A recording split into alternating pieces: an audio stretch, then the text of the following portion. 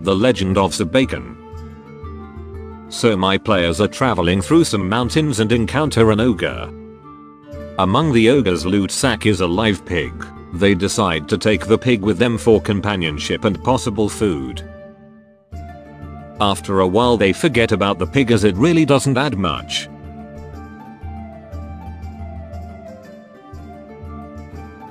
After slaying a dragon and looting its hoard I roll up a headband of intellect which the two spellcasters begin arguing over. I should get the headband, as I have the most need for it.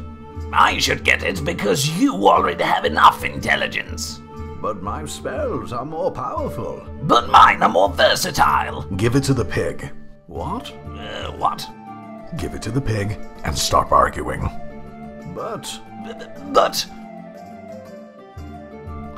Hello, companions. They ended up training the pig as a fighter, commissioning it some armor and now Sir Bacon is a proud and loyal member of the party. So yeah, this is pretty different from the norm now, isn't it? I must say. Um, I don't know, like animations and stuff like that has been something I've been like you know wanting to dip my toes into for a long time.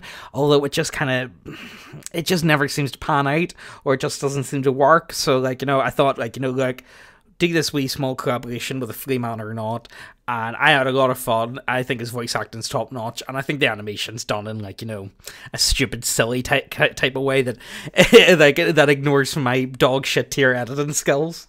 But no, look, uh, definitely check out a free man or not. Um, I think his voice acting is, as I say, top notch. So definitely something to check out, and he makes some pretty cool videos. If you get the chance, definitely check out his like a wee Anita Sarkeesian video. It's pretty good.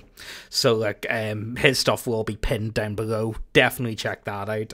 Um, and also let us know what you make of this video because depending on how you guys take it, depends on like you know how often we can really do this. Because I I really enjoyed doing it.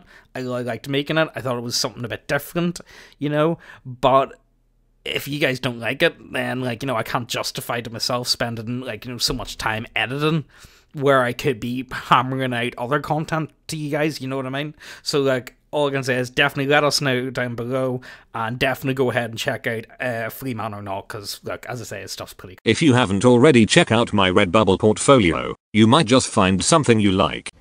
This, this is, is not okay. This needs to stop now. This is cancer. This, this is so much cancer that I can feel the tumors growing on my back and it's way down heavy on me, and it's not okay. Can you help a nigga out and just stop this? Please?